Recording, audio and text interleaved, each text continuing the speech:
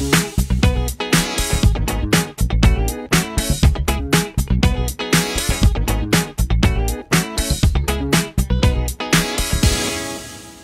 evening, everyone. We continue our study in the book of Psalms. It's a song, a Hebrew song in the 106th Psalm. We continue from verse 16. It reads here, when, and the word when is and then And so there are a couple of things that um, in Hebrew Psalms you, you find uh, quite interesting. The Hebrew Psalms have what we call sequential narratives. Like this, and then, meaning after talking about verse 15, uh, you we start a new uh, picture, a new imagery. So it's sequential it's always in an imagery.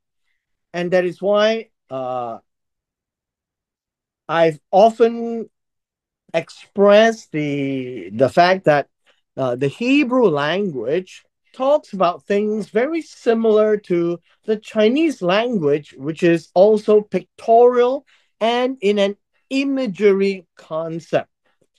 Now, the other thing that I have also often said in um, in poetry, uh, which is like Hebrew Psalms, uh, they will be synonyms. Synonyms where you've got one or two or more statements and they all mean the same thing. And then, of course, you have the antonyms where you have one or more statements in a contrast, meaning the opposite of each other. Now, that's how Hebrew Psalms work. And so we just can't just read it in English. You need to capture the sequential aspect, whether it is starting a new image uh, in the mind.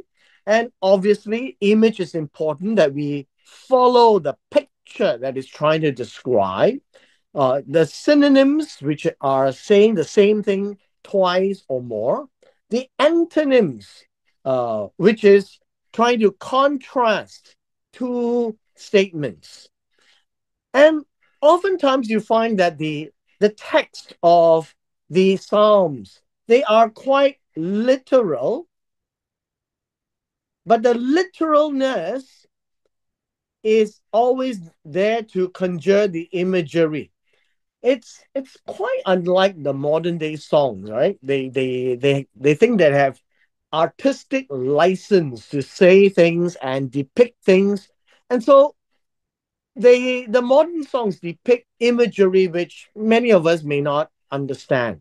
But in a specific culture like the Hebrew people or like the Chinese culture, the culture itself defines the imagery because that's what they see. When we come to verse 16, we are now told they,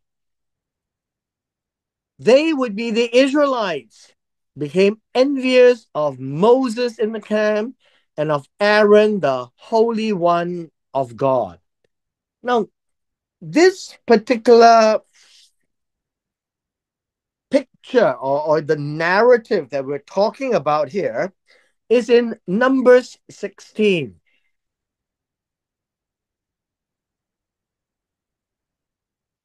And in number 16, uh, we read about the episode where the, the people, the Korach and company, came to engage with Moses and Aaron. This is why why are you the leader, right? Uh, why are you the priest? we also want to be priests. And so this idea of envious literally means to make angry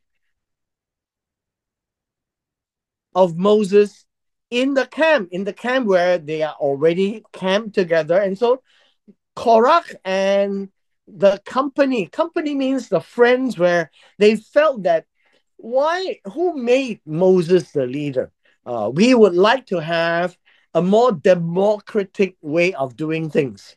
And so number 16 is a very interesting passage where trouble brewed and people thought that you could actually uh, elect yourselves to be leaders and priests of God's nation. And that in itself is, is problematic. And so at the time of the book of Numbers, while they are in the wilderness, they thought they could do that. And uh, number 16 is already at the time where God said, uh, You're all not going to survive this. The first generation will die in the wilderness, and the next generations will enter into the promised land. Now, obviously, when you read a psalm like this in verse 16, you need to be able to understand what actually happened in the book of Numbers, which contains the historical narrative of the events one year after the Exodus. After the they prepared the tabernacle, uh, they were getting things ready to be inaugurated. So all of these things would be the background of the knowledge of the Israelites. And so when David says, tell about what God has done, understand as we continued from Psalm 105 in verse 1 is to tell all the nations the two things that catches our minds when we read Psalm 105 and now 106 are the things that God had done in a positive way of demonstrating the power of God. That He has the power of doing spectacular things, awesome things, miracles, signs, wonders, which we cannot quite explain because God uses nature, but in such a way where it's unexplainable, it's indescribable. And hence, it is about public display of the powers of God, like the 10 plagues in Egypt, uh, with the destruction of, and the silencing of the Elohim of Egypt, uh, with the crossing of the Red Sea or the Sea of Reeds, where it's called Yam Suf. And what happened in the wilderness thereafter? So these are events that the Israelites continue to talk again and again and again. And if they had a chance to talk to the other nations, they want the other nations to know what hmm. God has done. Now, in verse 16 onwards, we are going to read the negative side of God's display of power. And you find that this has to do with God showing his power to teach the Israelites a lesson. Now, I need to be very careful here because these are the moments where God immediately judged and destroyed what we would call enemies of Moses and Aaron and they are considered enemies of God. They're all Israelites. But these Israelites are not particularly aware of this axiom God's house, God's rules. What does that mean?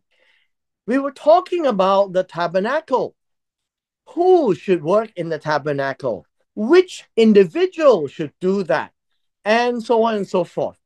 And by saying God's house, God's rules, it is to respect the fact that the tabernacle is God's house. Whatever happens in God's house, it should be decided by God. Who gets to go into God's house and to do what also should be decided by God. Now, in verse 16, it begins a narrative of some very sad events, but it demonstrates the power of God. God, and they, they came and got Moses angry, and they were against Aaron, Aaron, and it's called the Holy One of God. Note, the Holy One of God is a special title. He is the special one. He is the high priest. Now, this is important. Why? Because there is only one high priest. And the high priest has descendants, and the descendants are all priests. And so God decided, not Aaron. That's what they forgot. They thought that Aaron elected himself to be the priest. And so they came with uh, with Dathan and Aviram. Uh, they, they thought they could do the same, but they didn't realize God's house, God's rules. It was God who chose Moses. It was God who chose Aaron. It wasn't that they came in to volunteer themselves for the job because they realized it's God's house, it's God's rules. In that narrative in Numbers 16, verse 17 occurs as a song to remind those the earth opened and swallowed up Dathan, and engulfed the company of Aviram.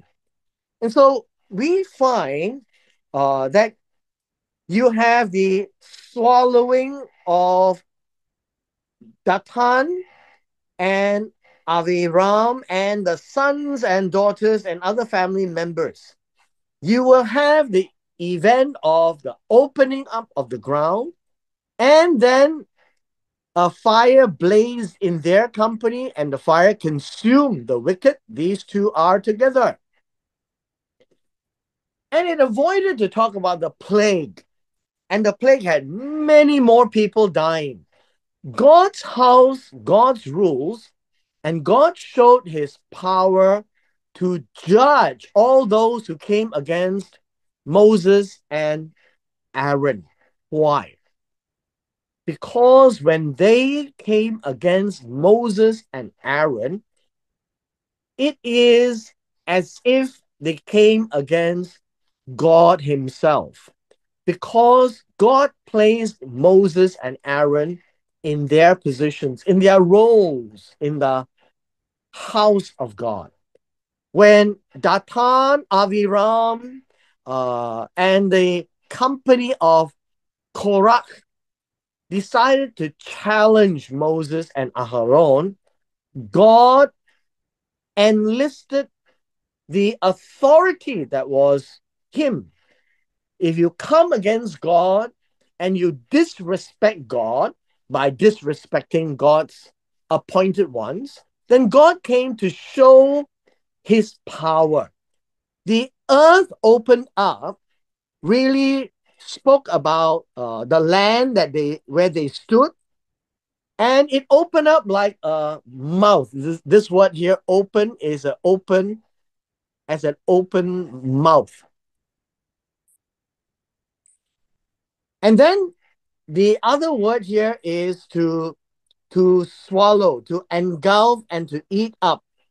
And this word swallow is actually uh the the the the idea uh, I guess you can say the same idea of uh scorching and and swallowing uh in this area the idea of consume. So think of it this way these words are used to talk about engulfing, swallowing. Swallowing gives you the, the, the picture of engulfing in the mouth. And so the earth opened its mouth and engulfed up everyone. And so this word uh, is engulfing. Unfortunately, the second word is not engulfing. This word is covering. Covering, concealing. But it has the same picture. The picture here is imagining the, the ground opening up like a mouth, and Datan was sucked into the ground. And then the company of Aviram also fell in, but the picture here is no longer about going in, but about the earth closing up. But it's all part and parcel of that same event. And then in verse 18, there would be a fire. Now, two things here the land and the fire. These two are elements which scares human beings the most. You cannot control earth activities or land activities. You cannot control fire. And the fire blazed up in their company. Their, the fire was actually burning up. I think that would be a much uh, better word to use. Blazed up, burned up, and engulfed the wicked. And so the fire was all around. They're talking about the same thing, as you can see an A and a B, an A and a B. So remember this synonym.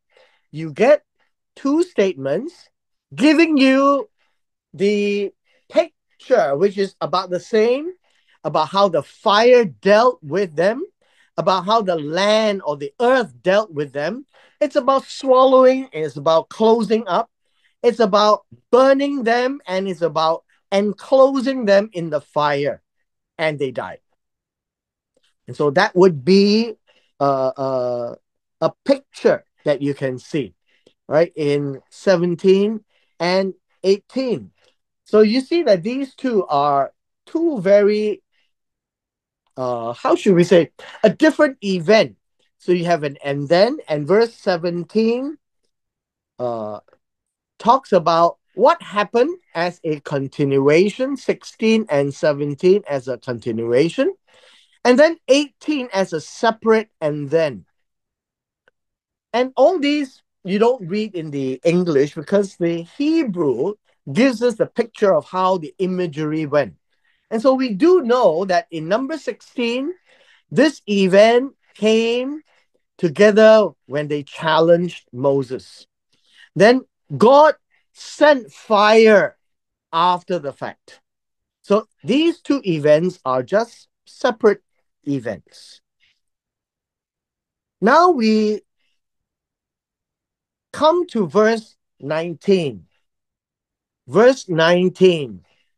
Now, verse 19 uh, is very much an event in Exodus chapter 32.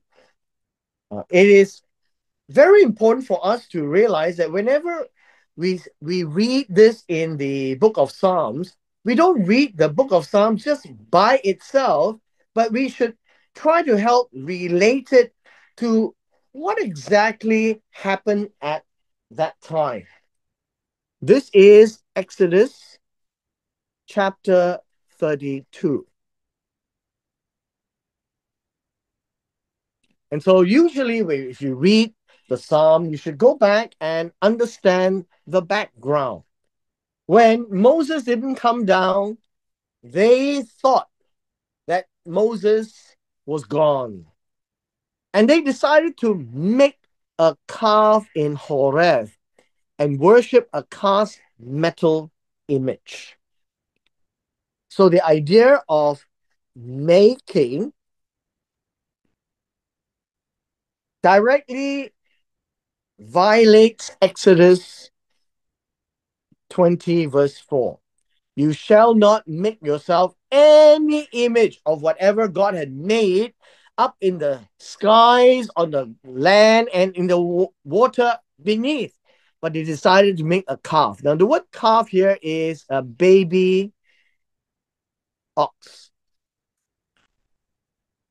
And they did it at Horeb, which is at Sinai, because Moses didn't come down. They couldn't wait.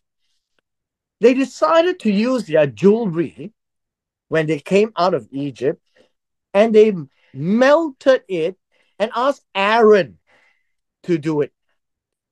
And after they have made the molten cast, molten cast meaning you have made a, a, a, shell uh, and you melt the gold and then you pour the gold into a mold and then when the gold uh, sets and cools down then you have a metallic image.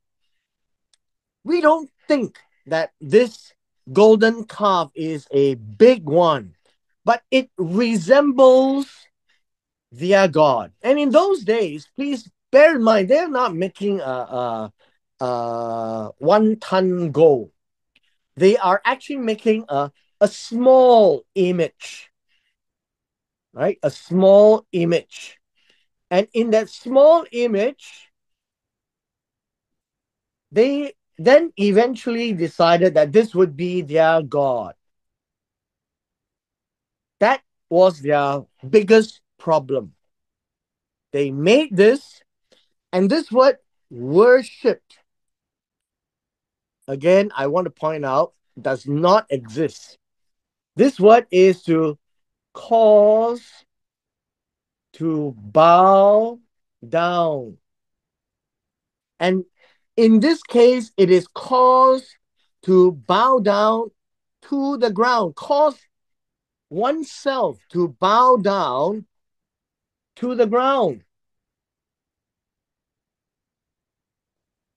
Now, this would be very similar to the ancient days.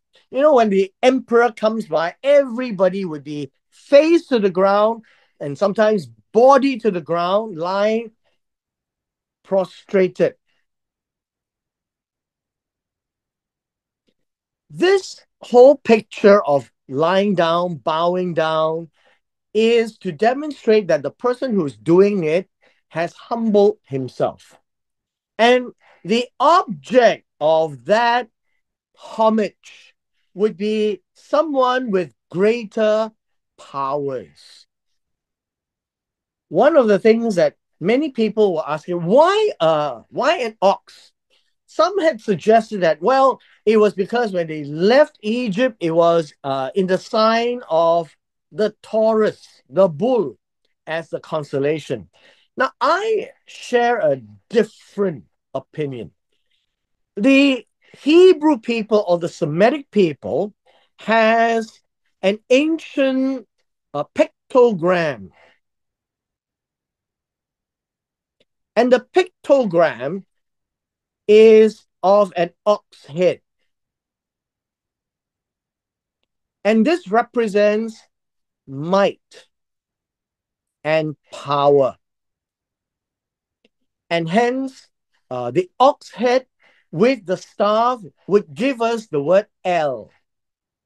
And I would think that in their minds, they are looking for a replacement of God. El. And this is the mighty one. And it's generally translated as God. Here, they make this image, and then in verse 20, they exchange their glory for the image of an ox that eats grass. Now, the idea of exchange means to to cause to well, I guess you can say barter. So if they had importance, and by the way, importance is glory, their weight.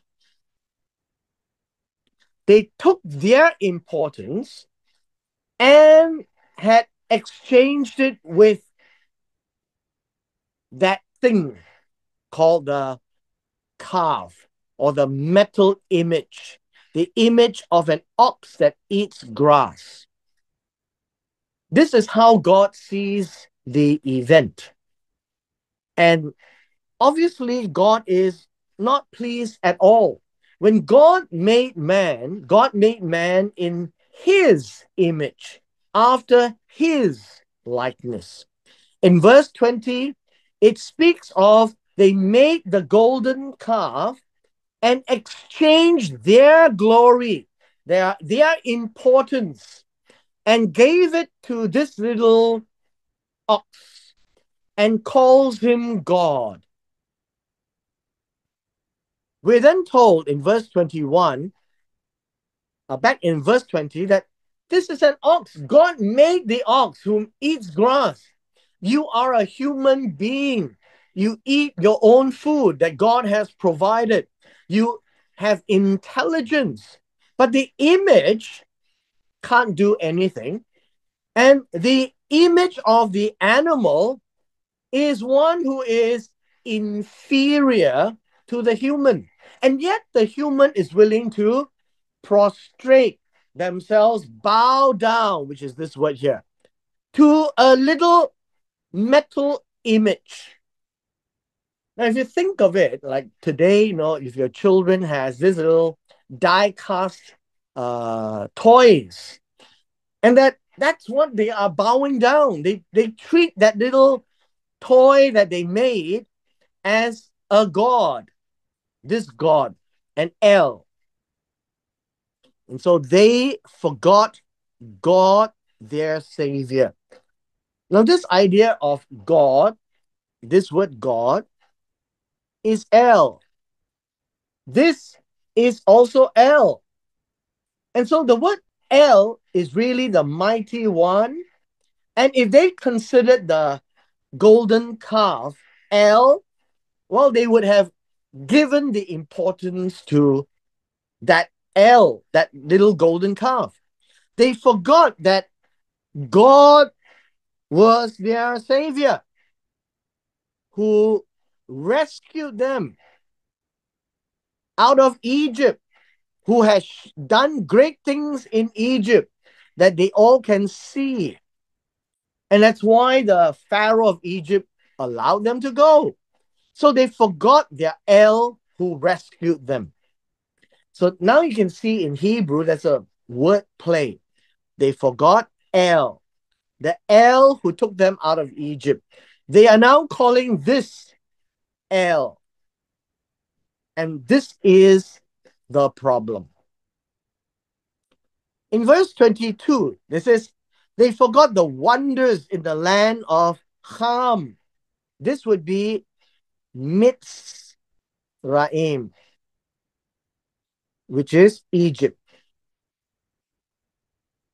So Ham, one of the sons of Noah, had actually occupied the land of what we call Africa today. And by and large, extended up into Canaan as well. And then it says they forgot the awesome things done by the Yam Suf.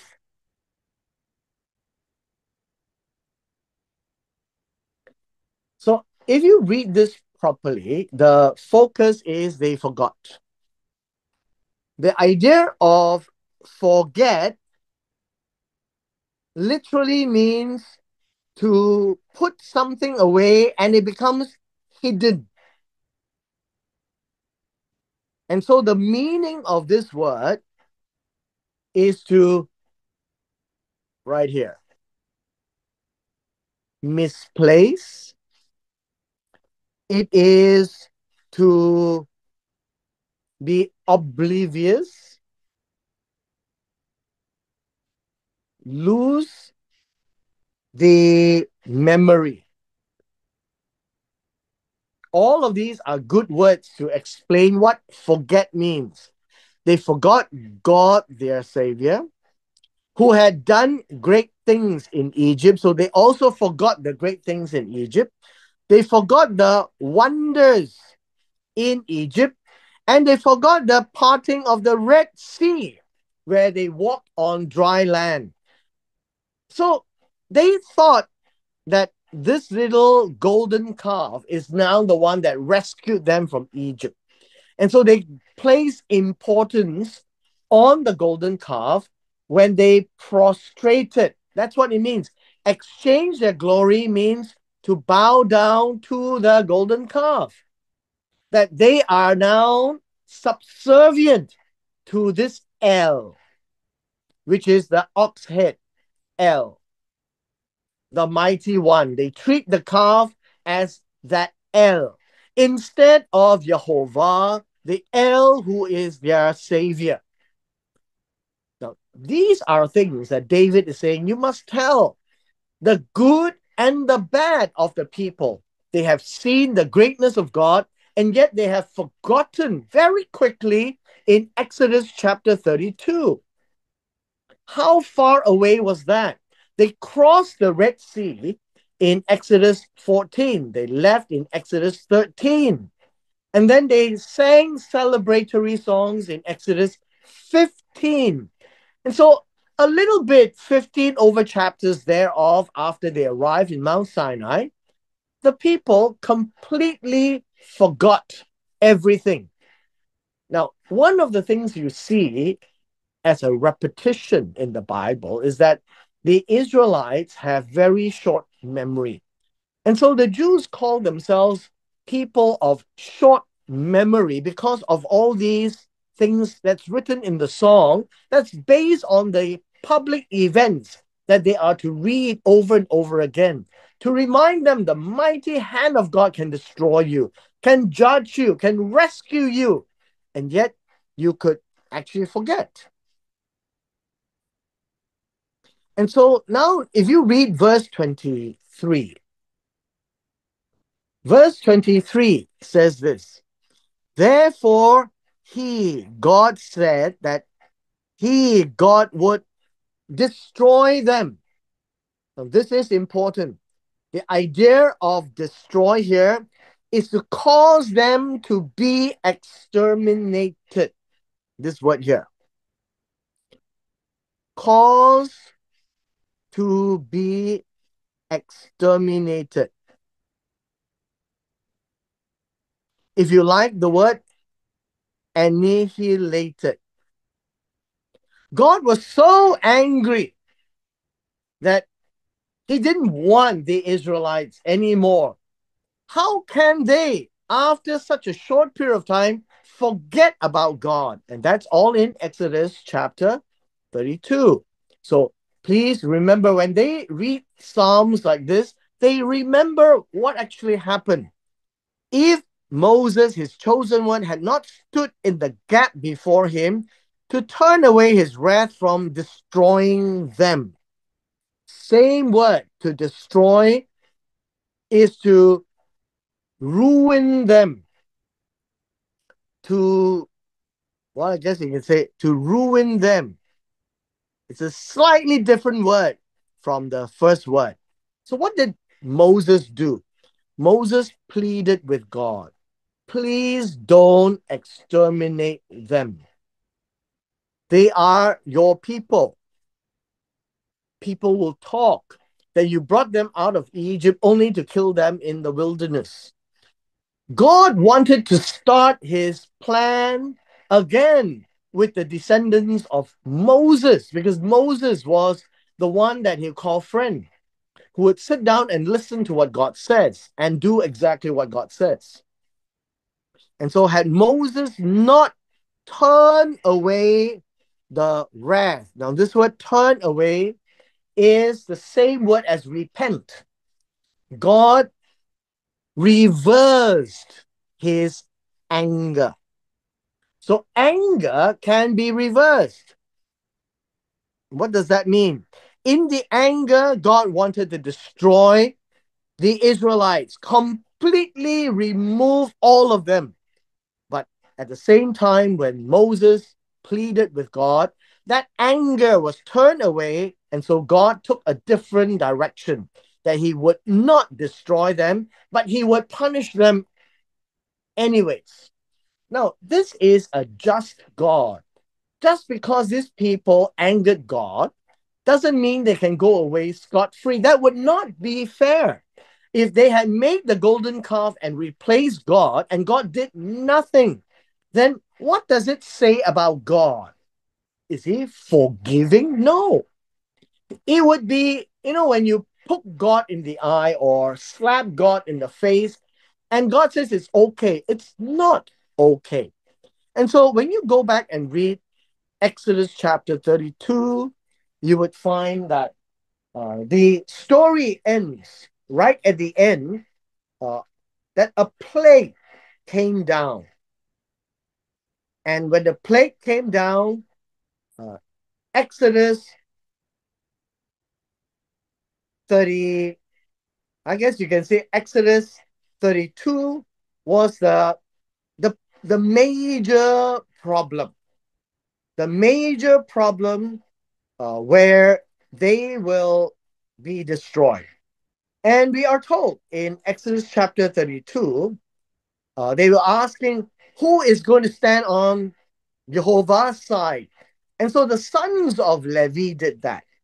And then the sons of Levi uh, went to kill the other group who actually did all these things.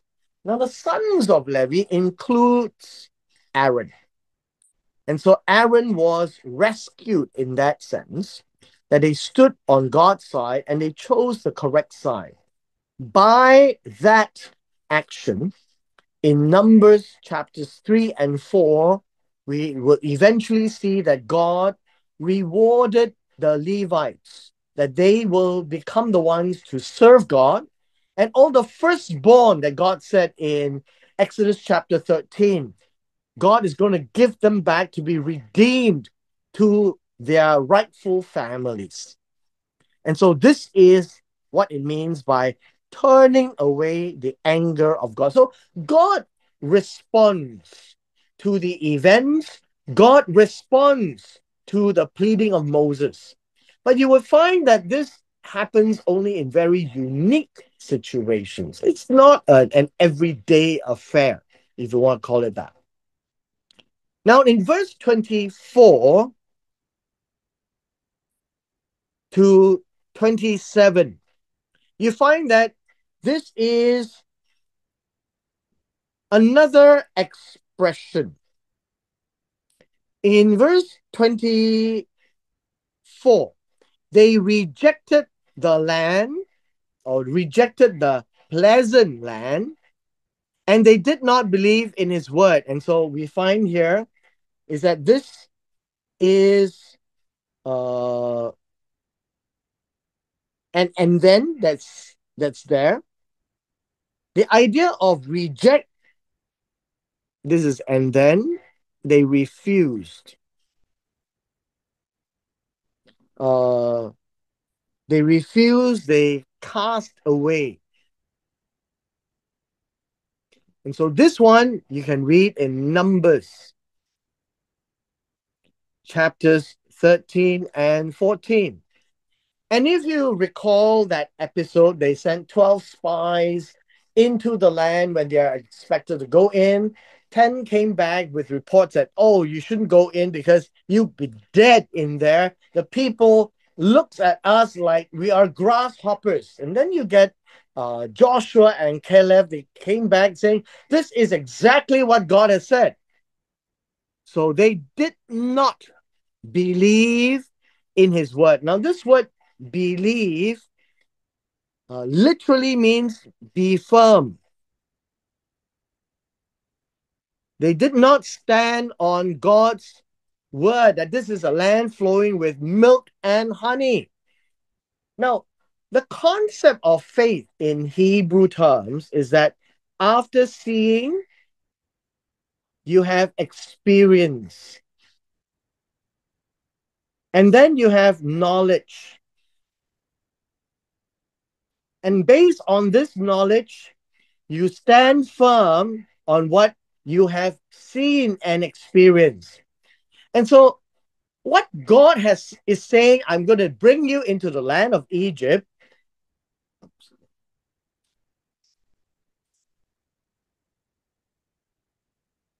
What God is saying that I'm going to bring you into the land flowing with milk and honey was based on what they have seen God do in Egypt. The 10 miracles, crossing the Red Sea, and and I guess after we read above, they forgot. They thought that the golden calf would be their God. And so when it came to the promised land, they forgot. And so they did not stand firm on God's word. So what did they do? They grumbled in their tents. They did not listen to the voice of God. And God tells them to go in and possess the land, but they refuse. Therefore, as a consequence, and you can see it's something about God, God is an interactive God. Based on what they are doing, God swore to them they would fall in the wilderness and that he would bring down their descendants among the nations and scatter them in their lands. This happened later. But what was immediate was this God did not bring a plague to kill them. Notice, in their disobedience, they were refused entry into the promised land. The first generation, generation number one would be the 20 year old and above. These were the ones, them. Please bear that in mind. But we do find there were two other generations. This would be 20 year old and below. And then we have the third generation that would be born in the wilderness. Why were they born in the wilderness? Because God said they will fall in the wilderness, and this will be 40 years basically another 38 years. And in that 38 years, another generation came.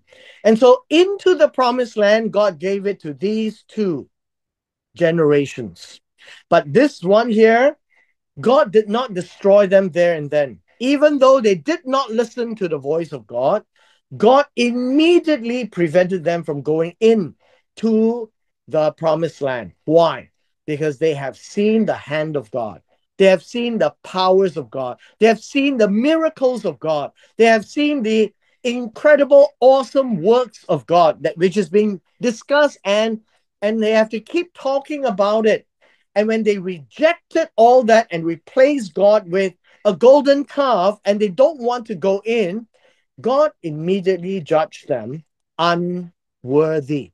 Why didn't God give them another chance? Because they had seen the second and third generation are the younger ones, and God gave them a chance, and they went in voluntarily. And so, what is essentially important is the first generation were the ones who had decided that they should go back to Egypt. And God swore. When God swears, you would find that this word here, it's very strict. It will happen. And in the justice of God, these died because they had seen and yet they did not hold on to what God said. The second and third generation were the ones who were much younger. In fact, number three didn't exist at the time of Mount Sinai. Number two were too young. But God says these younger ones they would hold on to the word of God as Moses gave them in the book of Deuteronomy, and they would go in. And so herein lies the deeds of God, that God is an interactive God. God saw what they did, and God would judge them on what they did, not what they think, on what they did. Their positioning, their choices, because choices have consequences. God is the fair judge.